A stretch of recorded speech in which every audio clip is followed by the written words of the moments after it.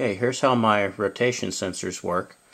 Uh, what you can see here is one of the, right here, is one of the, the micro switches I've got. It's got a wonderful little bent piece of metal that runs right up here and forms a roughly 90 degree angle that fits just perfectly uh, into the studs that I've got hanging off that gear there. And if I lift them up, you can see them in there and it fits right down in there. As it rotates, I get, uh, I get one count. You'll hear it.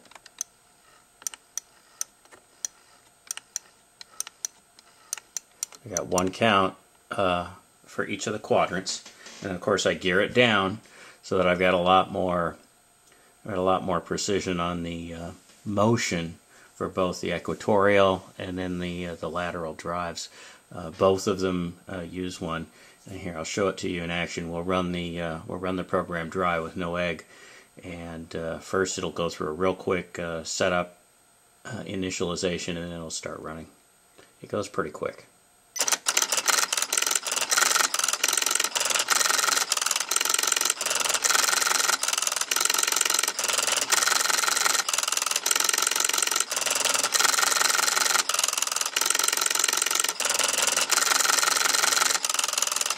Here's the other one over here.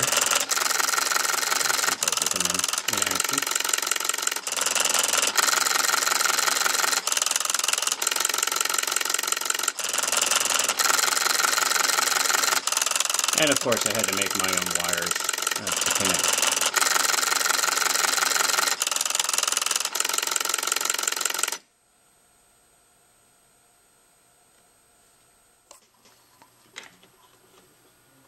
Okay, so that's it for the Lego Eggbot. You can see I still got some improvement to do, mainly in the uh, the pen holder mechanics. Um, I'm also thinking that I'd like to put a limit switch up in here, so uh, on initialization I can rotate it all the way over and I can tell the absolute position of that. It doesn't so much matter on the lateral drive. You pretty much start anywhere you want on a blank egg.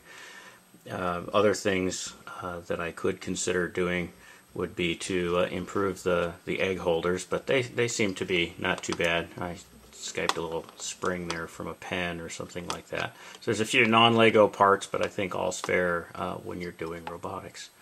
All right, I hope you enjoyed it, and uh, happy robot making. Bye-bye.